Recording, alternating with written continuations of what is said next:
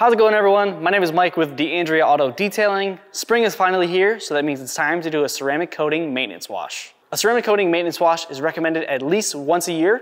Uh, you know, this vehicle is garage kept, so it doesn't see a whole lot of use. It's only got 3,000 miles on it, it's just about two years old. The first step in our ceramic coating maintenance wash process is we're gonna pre-treat it with our DIY Detail rinseless wash. That's gonna start emulsifying the dirt, making sure we are not gonna scratch the paint at all.